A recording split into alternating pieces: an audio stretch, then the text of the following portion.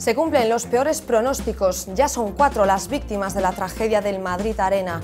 Esta mañana fallecía una de las jóvenes que se encontraba en estado crítico desde la fatídica avalancha. Tenía solo 17 años y no ha podido superar las graves lesiones que sufría. Mientras la siguen las investigaciones, la empresa organizadora mantiene que el control de acceso al recinto fue riguroso. Buenas noches, cruzamos ya el Ecuador de este puente de Todos los Santos y lo hacemos con tiempo muy revuelto en todo el país. Aquí en Galicia la alerta ha estado en el mar, en las provincias de A Coruña y Lugo y llovía mucho a primera hora de la mañana. Una circunstancia a estas alturas del otoño que no ha echado para atrás a los turistas. El Camino de Santiago ha sido hoy uno de los destinos favoritos. Esos tres conos que están juntitos, esos no son conos, es un camión que va para Madrid. O nos apartamos o chocamos. Los jóvenes son uno de los sectores de la población más expuestos a los accidentes de tráfico. Se dice de ellos que son también los más imprudentes. Estos chicos están dispuestos a acabar con el mito. Hoy hemos aprendido junto a ellos muchas de las realidades que se van a encontrar en la carretera. El alcalde de Portomarín va a destinar su paga extra a arreglar un bien común de su concello. Esa paga é miña, polo tanto, quen renuncio a quen a destino son. Lo dice así de serio porque ya ha recibido críticas. La extra de Juan Serrano pasa un poco de los mil euros y ha decidido dedicarla a reparar una iglesia en mal estado. Una decisión que no ha sentado bien a todos los vecinos que consideran que había otras reparaciones más urgentes. La familia de María José Arcos no se rinde, seguirá peleando para que se investigue su desaparición hace ya 16 años. La Audiencia Provincial de A Coruña ha archivado provisionalmente la causa y ha retirado los cargos contra el único imputado. Solo una nueva pista provocaría la reapertura de este caso. Escribir un libro era su sueño y lo ha cumplido hablando de lo que más sabe, de la violencia de género. Carmen Novo fue durante 12 años la fiscal especializada en casos de malos tratos en Pontevedra. Su experiencia con las víctimas le inspiró Quiero mi vida, la historia de una mujer que intenta recuperar la independencia perdida. Luego hablamos con ella para que nos cuente más sobre su trabajo y sobre esta novela. El cementerio coruñés de San Amaro está por las noches más vivo que nunca. Con motivo del bicentenario de este camposanto se están realizando visitas guiadas a la luz de la luna. Todo aderezado con una mística puesta en escena que les contamos al final de este informativo.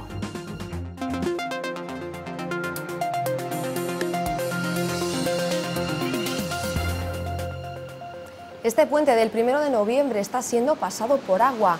Hoy ha sido día de abrigos y paraguas. Estamos bajo la influencia de un temporal. Las horas de más lluvia han sido las primeras del día. El tiempo ha ido cambiando y mucho. Prácticamente todo el país se ha visto afectado por este temporal. 15 provincias han estado en alerta por lluvia, viento y fenómenos costeros. De nivel amarillo por oleaje ha sido hoy la alerta en el litoral de A Coruña y Lugo. Tras una noche de lluvias intensas amanecía un sábado que dependiendo de dónde se encontrase uno podía ser de temporal o de todo lo contrario. Aún así muchas personas aprovecharon el puente para visitar nuestra comunidad. Tras la tormenta llega la calma, por eso en Santiago, a pesar del frío y la amenaza de lluvia, no faltaba quienes visitaran la ciudad, mapa en mano y sin olvidar el paraguas, porque haga el tiempo que haga... Se estivesse chovendo, eh, vínhamos na mesma. Disfrutar de la catedral merece la pena. Primera vez, pero es tan bonito si no hay ni palabra para explicar de verdad. Es súper bonito. La amenaza del temporal se volvía lejana, Eso dicen, pero nada, la verdad que súper a gusto. Muy buen día estamos pasando. aunque el temor a la lluvia se dejó sentir en el Obradoiro. Me esperaba más masa aquí en la plaza, más gente, quizá eso es porque eh, habían dicho que iba a hacer mal tiempo, pero bien, súper, súper emotivo. Y del final del camino al otro final. Ni el viento ocasional ni el frío hace que los turistas y los peregrinos desistan de su viaje al fin de la tierra. El viento fue despejando las nubes y el frío llegó por momentos a convertirse en calor. Es eh, bonito llegar aquí, pasear aquí, es, el tiempo es eh, maravilloso, hace mucho calor hoy. Aunque claro, no siempre llueve a gusto de todos. Eh, hombre, la verdad es que a mí me gustaba más el tiempo que hacía ayer, sinceramente. Pega más con el sitio, ¿sabes? Pero lo importante cuando uno viene a Fisterra es mirar el horizonte. Casi parece que se ve hasta la circunferencia de la Tierra, muy bonito. Pues eso, bonito, aunque la palabra aquí, en los confines del mundo, se quede corta. Quedan ya pocas horas de este puente y la previsión dice que la lluvia va a seguir acompañándonos. Marta Fernández, ¿qué tal? Buenas noches, cuéntanos. ¿Qué tal Gladys? Muy buenas noches. Pues efectivamente, parece que esta segunda parte del puente de Todos los Santos, la lluvia, va a seguir siendo la protagonista. Galicia se encuentra bajo la influencia de una borrasca situada en las Islas Británicas y que seguirá enviándonos lluvias durante toda la jornada de mañana. Especialmente persistentes serán en la costa, donde Meteo Galicia mantiene activada la alerta amarilla, especialmente en la provincia de A Coruña. Las precipitaciones solo empezarán a remitir a finales del día en algunos puntos del interior de Lugo y Ourense. Las temperaturas también seguirán siendo frías, las máximas no superarán los 16 grados. La inestabilidad se mantendrá al menos hasta mediados de semana, una situación por otro lado normal, teniendo en cuenta que ya estamos en pleno mes de noviembre. Gracias, Marta. Los que no se esperaban precisamente este tiempo revuelto son los turistas que están pasando el puente en las Islas Canarias. Los visitantes han tenido que cambiar los trajes de baño por los paraguas. Además, los fuertes vientos han provocado desperfectos materiales y algunos vecinos de la zona continúan con miedo por lo que pueda pasar. Los turistas a estas alturas ya se han resignado. Esperaba un poquito mejor el tiempo, por lo menos que no lloviese. Que no hubiese hecho sol me daba igual prácticamente, pero que no lloviera sí, desde luego. Podría pasar en un día a día, sí, pero bueno, con el tiempo nos hacía un poquito. Pensábamos que íbamos a tener mejor tiempo, disfrutar de la playa y del sol, pero bueno, no ha sido así. Este puente del primero de noviembre ha significado para muchos unas pequeñas vacaciones. Los turistas reducen cada vez más su gasto y los hoteles se tienen que adaptar. Es lo que han hecho los llamados hoteles anticrisis. Así les ha denominado la prestigiosa web TripAdvisor. Son establecimientos en los que la noche no cuesta más de 50 euros y en Galicia los tenemos.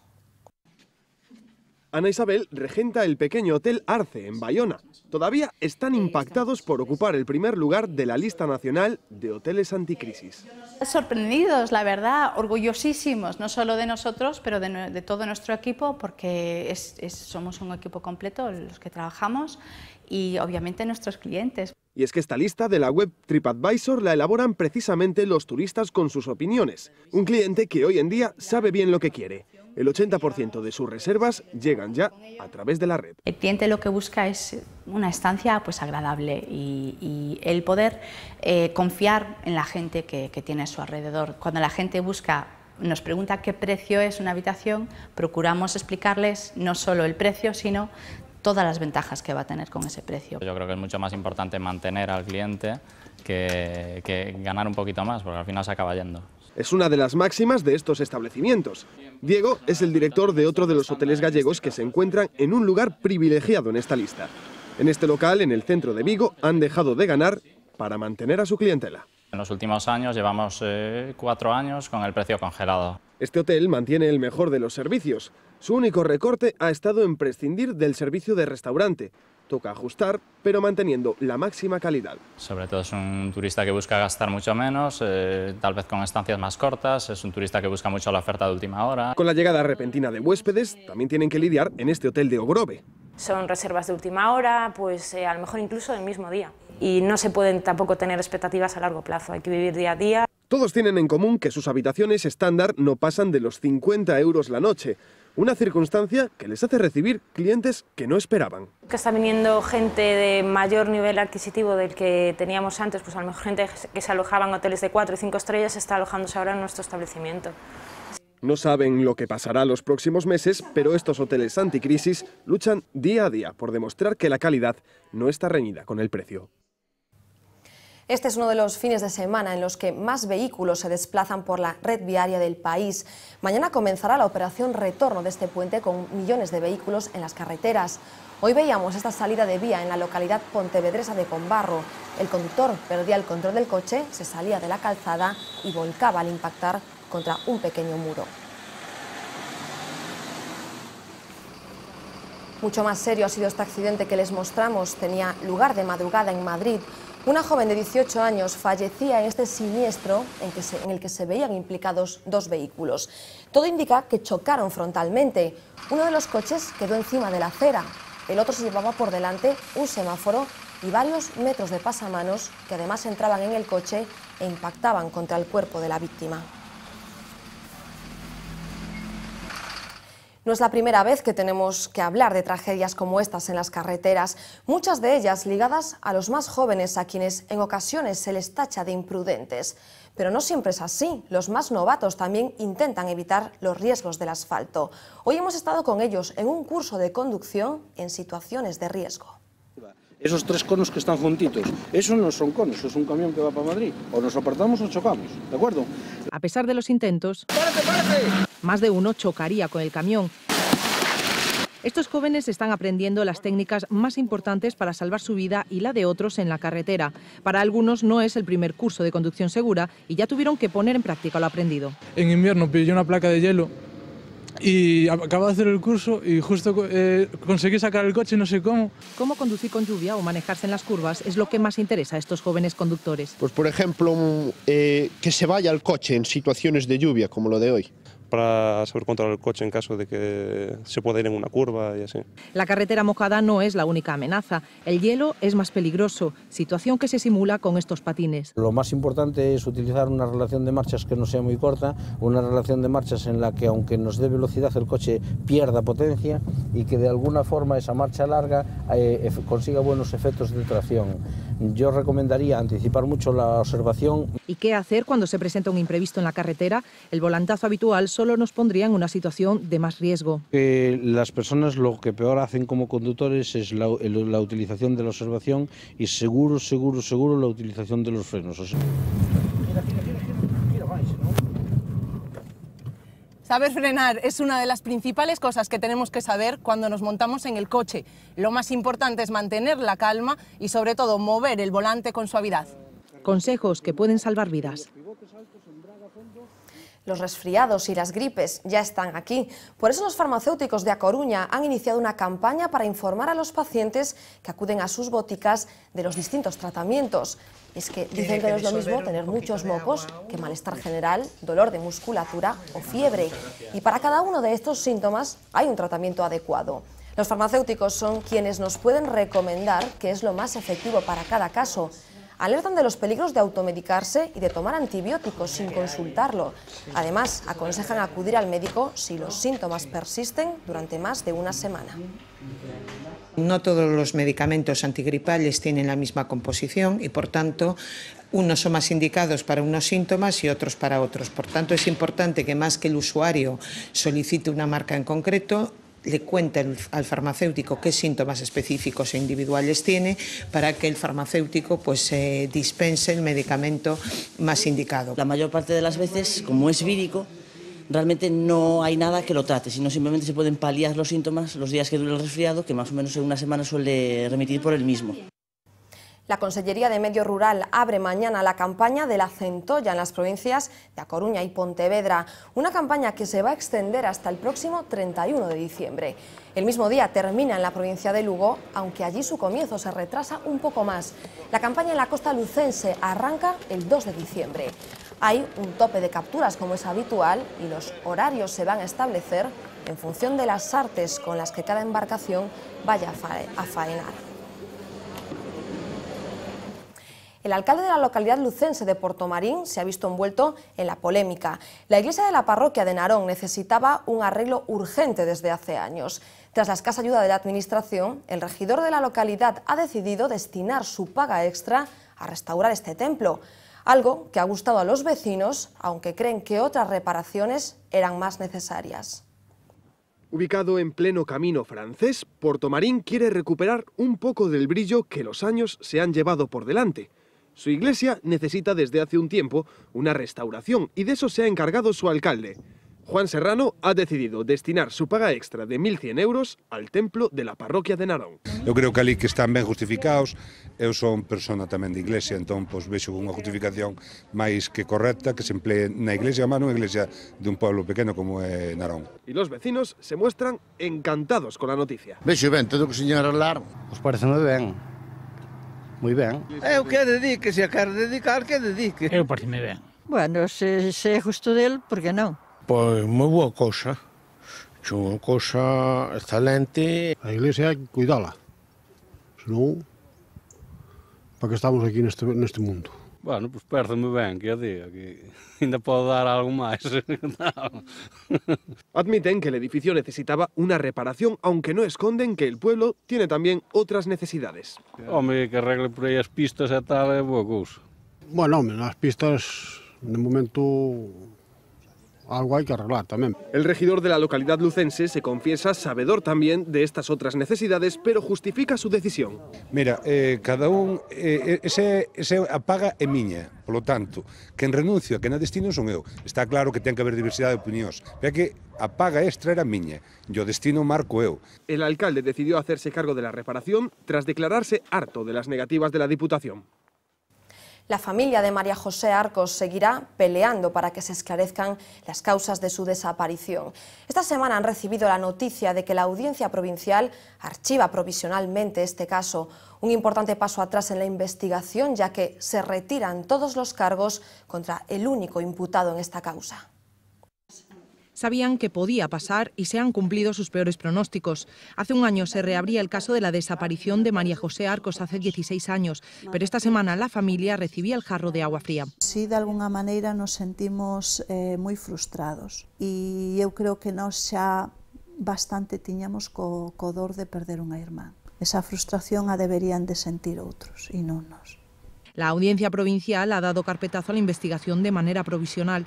El auto tamén retira todos os cargos contra el único imputado, pero para a familia hay solo un culpable. Non cometo ningún tipo de delito aseverando que eu estou convencida de que Ramiro Villaverde fixo desaparecer a miña irmã María José.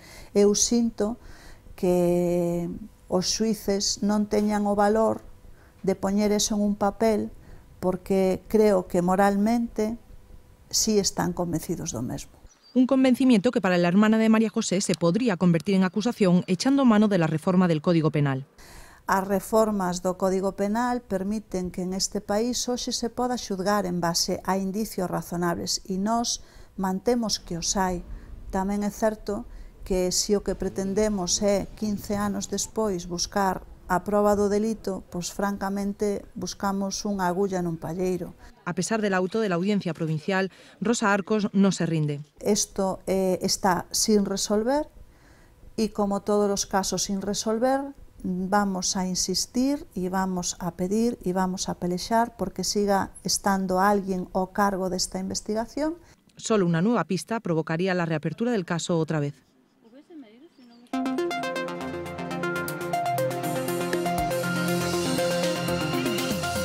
Sé que se, se, pasaron al vender las entradas y tal, pero este sitio está un poco más controlado, que ya he venido más veces, así que... Y sí, tenemos miedo, pero es que tampoco podemos vivir siempre con miedo y lo sentimos mucho por esas personas, pero que no podemos hacer nada. A pesar de lo ocurrido, uno dice, bueno, no puedo dejar de salir, ¿no? Hombre, vamos a ver, eh, sí, duele que pase esto aquí en España, pero la fiesta sigue. Y... Yo voy a intentar que no me revienten la cabeza contra el suelo nada. ni nada parecido. Lo que tenga que pasar, tío. Si es mi momento, es mi momento, ya está, ya a vivir la muerte. No, no sabemos mucha cosa. No, no, ah, no, no lo sabíais. No, hemos escuchado algo, pero tampoco no. Son las palabras de estos jóvenes que ayer acudían a otra macrofiesta en una famosa sala de la capital. La vida sigue, pero lo cierto es que esta mañana la tragedia del Madrid Arena se cobraba otra vida, la de Belén Landog. Se trata de la menor que se encontraba ingresada en estado crítico en el hospital 12 de octubre. Tenía 17 años y no ha podido superar las lesiones que le causó la avalancha.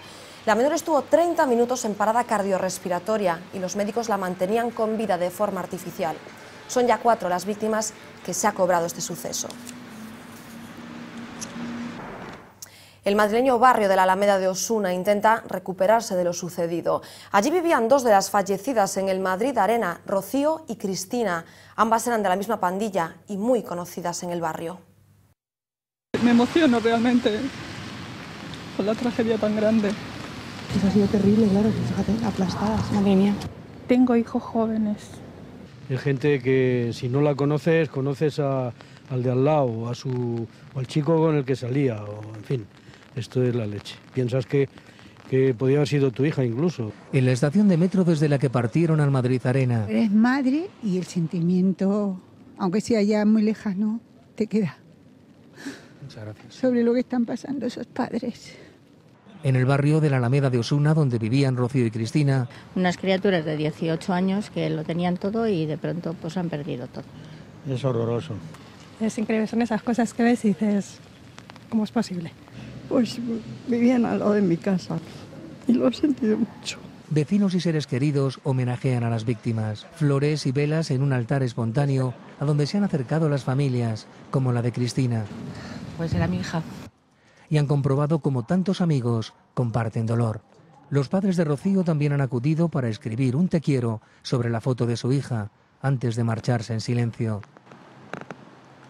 La Alameda entera está con vosotras y luego mi grupo de, de amigos que solo sabéis de Roma se lo he traído porque siempre estarán aquí en la memoria de todos en el barrio. En el panel del metro se suceden los sentidos mensajes de compañeros de clase y de amigos. Paz para nuestras niñas, os queremos, mis princesas, porque siempre estaréis con nosotros, dicen en palabras mezcladas entre gotas de lluvia, como mostrando que el barrio de la Alameda sigue llorando a tan jóvenes vecinas. Un incendio en un geriátrico de la localidad sevillana de Écija se ha cobrado la vida de un anciano de 83 años. Las primeras investigaciones apuntan a un cigarrillo mal apagado como causa del fuego. Las llamas se prendían en un colchón en la habitación en la que se encontraba la víctima. Esta mañana se respiraba ya un ambiente casi de normalidad en el centro, cuyos inquilinos pudieron regresar a sus habitaciones después de que tuvieran que ser desalojados provisionalmente mientras se realizaban las labores de extinción. Era muy bueno, muy alegre, muy, era muy bueno. Yo llamé anoche y me dijeron, tu madre está muy bien y ya está. Tú sabes, ya no... Digo, ya pues ya está, estando mi... Sí, sí, sí. Yo creo que sí, yo estaba hoy con mi madre sentada y no veo nada, anomalía ninguna, tú sabes. La Guardia Civil y la Policía Nacional han detenido a 35 personas por tráfico de seres humanos. Es el resultado de la operación Índalo, que ha durado meses. Además, más de 2.000 personas víctimas de redes dedicadas al favorecimiento de la inmigración irregular han sido rescatadas. Esta red estaba detrás de la mayoría de los viajes en patera desde el norte de África hacia España. A casi 10 días de la huelga general, hoy el sindicato UGT ha desplegado una pancarta gigante en su sede madrileña, animando a los españoles a secundar este paro. La huelga del 14 de noviembre se encuentra en el marco de una movilización sindical a nivel europeo. Varios países han convocado distintos paros y huelgas para esa fecha en toda Europa. Para el sindicato UGT, esta huelga es sentida y necesaria y creen que va a ser muy seguida tanto por trabajadores como por parados. El Partido Socialista anima a sus diputados a renunciar a su sueldo el día de la huelga general, el próximo 14 de noviembre. Y es que ese día hay sesión plenaria en el Congreso de los Diputados. En una carta firmada por su portavoz, Soraya Rodríguez, el PSOE anima a sus representantes a tener un gesto de solidaridad con los trabajadores que secunden el paro. Ese dinero sería entregado a un banco de alimentos para, como dice esta carta, ayudar a quien más lo necesita. Y este que ven era el aspecto que presentaba hoy el Cobo Calleja. Es el polígono de establecimientos regentados por chinos en Madrid y donde se desarrollaba hace unas semanas toda la trama de blanqueo de capitales llamada Operación Emperador. Pues bien, de esta forma que ven, han protestado hoy los comerciantes chinos, haciendo algo impensable para ellos, cerrando sus tiendas. Dicen que han perdido el 70% de su facturación desde este caso e intentan demostrar que no todos los chinos son iguales. No todos los chinos somos mm, delincuentes, sino hay una buena parte de la mayoría que se dedicam- nos dedicamos al, al, al comercio, a la, mm, a la educación y a otros distintos niveles. En el exterior, el estado de Nueva York intenta recuperarse cuatro días después del paso del huracán Sandy. El paisaje en algunos lugares como Long Island es desolador. Las casas están destrozadas y algunos barcos siguen en tierra. Varias zonas de esta isla siguen sin electricidad, por lo que la recuperación está siendo más complicada. Organizaciones benéficas y voluntarios están repartiendo comida en esta zona situada a tan solo 40 kilómetros de la Gran Manzana. Las últimas horas también han estado marcadas por la escasez de combustible y largas colas de coches esperando para repostar en las escasas gasolineras que a estas horas están abiertas. Considerada la capital del mundo, las imágenes de Nueva York afectada por el huracán Sandy han dado la vuelta al planeta. Las calles desiertas y los incidentes han dejado en evidencia que la Gran Manzana también es vulnerable. El cine ha usado Nueva York como un recurrente plató y en muchas ocasiones ha intentado terminar con su esplendor. Hayamos o no pisado sus aceras, todos tenemos la sensación de conocerla. Sabemos el nombre de sus barrios e incluso el de sus calles. Y mira ahí enfrente. ¿Ves eso? Sí. Eso es Queens. Sí. Es aquel de allá. Solo tenemos 24 horas. Sí. Y no conocemos Nueva York. Y aunque allí nos sintiéramos como un extranjero, en nuestra mente nos hemos subido en más de una ocasión a lo más alto de sus rascacielos. Ciertas calles, lugares e incluso horas del día son poco recomendables. Y nos hemos dejado perder en sus tiendas de lujo o por sus antros de perdición. En color o en blanco y negro, Nueva York es la ciudad por excelencia. Frank Sinatra nos dijo que nunca dormía y Woody Allen le declaró su amor abiertamente. Capítulo primero. Adoraba Nueva York. Símbolo del mundo occidental, la metrópolis es la más filmada y retratada, en un intento tal vez por inmortalizarla y protegerla de las agresiones de las que ni siquiera los más poderosos pueden escaparse. Tan idealizada con sus bullicios, el ciclón Sandy nos ha vuelto a mostrar su otra cara, la menos alegre, con sus avenidas vacías, sus letreros apagados y sus moradores paralizados. Una desolación que no es insólita ni de lejos la más devastadora, pero cuesta ver así a la Gran Manzana y eso que el cine lleva años empeñado en atacarla. Atentados terroristas, asteroides, invasiones alienígenas, gorilas gigantes, fantasmas o zombies, todos obstinados en destruirla y ella en liderar la lucha contra la propia naturaleza.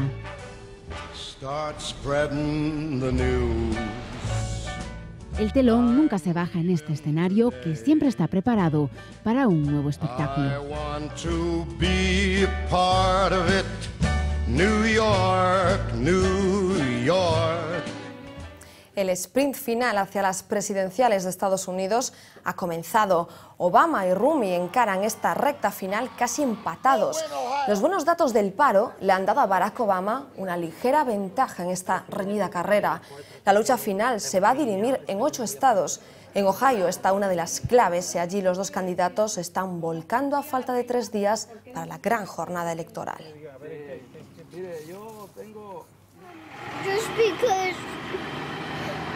I'm tired, I'm tired of Barack Obama and Mitt Romney. Este que ven es el nuevo fenómeno en la red. Esta pequeña llora desconsolada porque está harta de la campaña electoral en Estados Unidos. Sus sollozos comenzaron en el momento en el que su madre estaba escuchando en la radio las últimas informaciones sobre la campaña. Dos millones de personas ya han visto este vídeo en el que esta pequeña se refiere al actual presidente de Estados Unidos como Bronco Obama.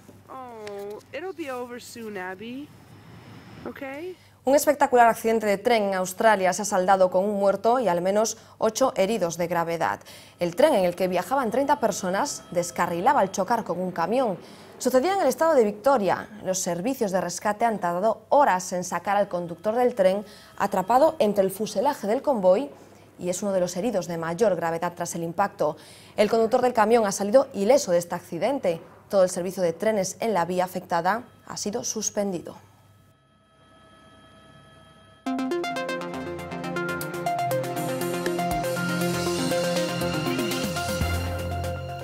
Durante los 12 años que ejerció como fiscal de violencia de género en Pontevedra, Carmen Novo conoció de cerca a muchas víctimas. De sus conversaciones y sus experiencias con ellas nace Quiero mi vida, la novela que acaba de publicar y con la que además cumple su sueño de escribir un libro. Entre los cientos de libros que ocupan la casa de Carmen Novo, ahora hay uno que lleva su nombre en la portada. Quiero mi vida es el resultado de 12 años atendiendo casos de violencia de género desde la Fiscalía de Pontevedra.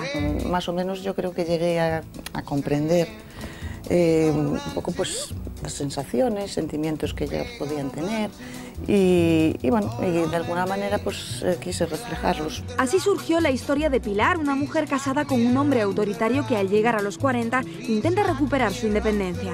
Me apetecía hacerla cercana y actuar. Una de mis intenciones era, pues, por ejemplo, en actitudes que nos parecen cotidianas, normales, que sin embargo se ve ahí que hay una discriminación. Por sus manos han pasado casos duros, con finales trágicos, pero sobre todo historias perversas de maltrato psicológico. La sociedad mm, las ayuda poco, por ejemplo, en el sentido de la comprensión. Si una mujer lleva con, con su marido o su pareja eh, bastante tiempo y ya a esa persona la está maltratando desde hace tiempo, eso mucha gente no lo comprende. Y no es tan fácil porque hay muchos eh, condicionantes para esa persona. Más difícil le ha sido comprender a los agresores.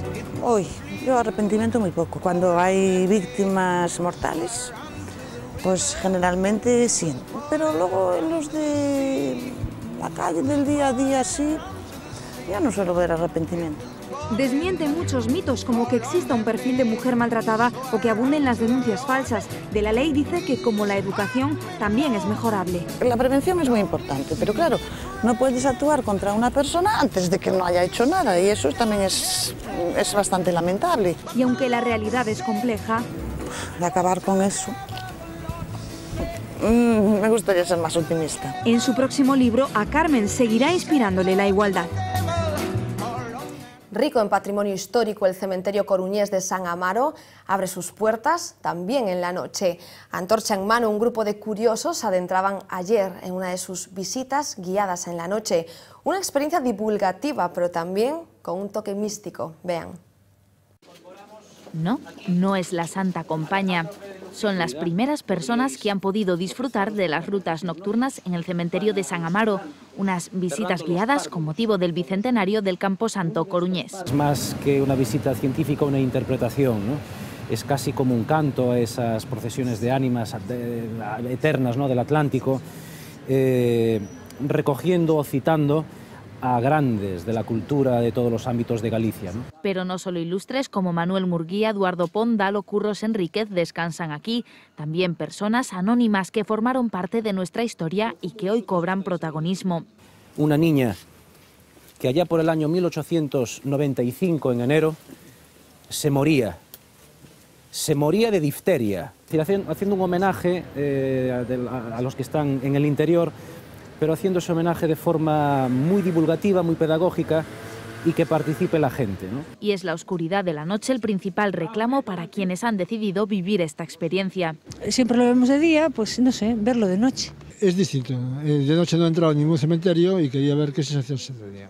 Y bueno, da un poco así más de misterio y tal. Y sobre todo de noche y en una noche como la de hoy, ¿no? El Día de los Difuntos. El cupo de visitas nocturnas previsto está lleno, un éxito absoluto que ha abierto la posibilidad de que se puedan seguir realizando más adelante. Podrían seguir porque realmente también lo que estaremos haciendo seguramente es crear un nuevo, una nueva marca patrimonial para Coruña, que tiene, también tiene una vertiente turística. ¿no? Pero cuidado con no molestar a los muertos, no vaya a ser que más de uno se lleve un susto. Los fieles de la saga Star Wars están estos días preocupados. Esta semana el gigante Disney se hacía con Lucasfilms y anunciaba que habrá más entregas de esta mítica obra cinematográfica. Sus incondicionales no están seguros de que vayan a mantener su calidad.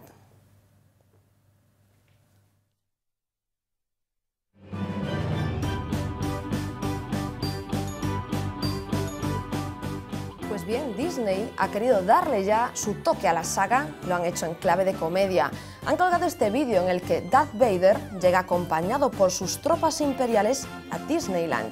Allí disfrutan de un día, de un estilo muy diferente al que nos tiene acostumbrados este malo malísimo. Incluso la banda sonora de la saga tiene ya un toque muy, pero que muy de su nueva firma.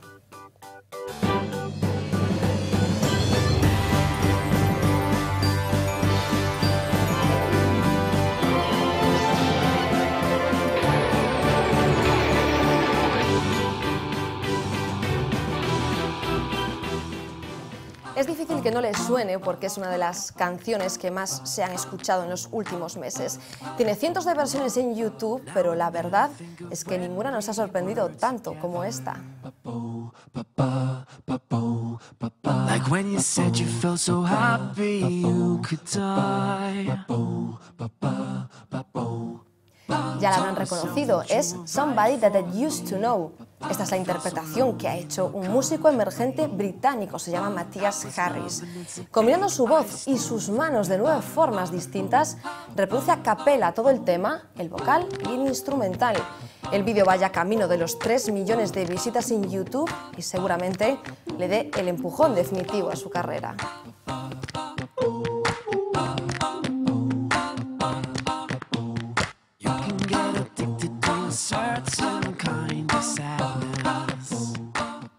Nos vamos, ya les esperamos mañana a la misma hora. Gracias por elegir V Televisión. Buenas noches. When we found that we could not make sense, well, you said that we would still be friends.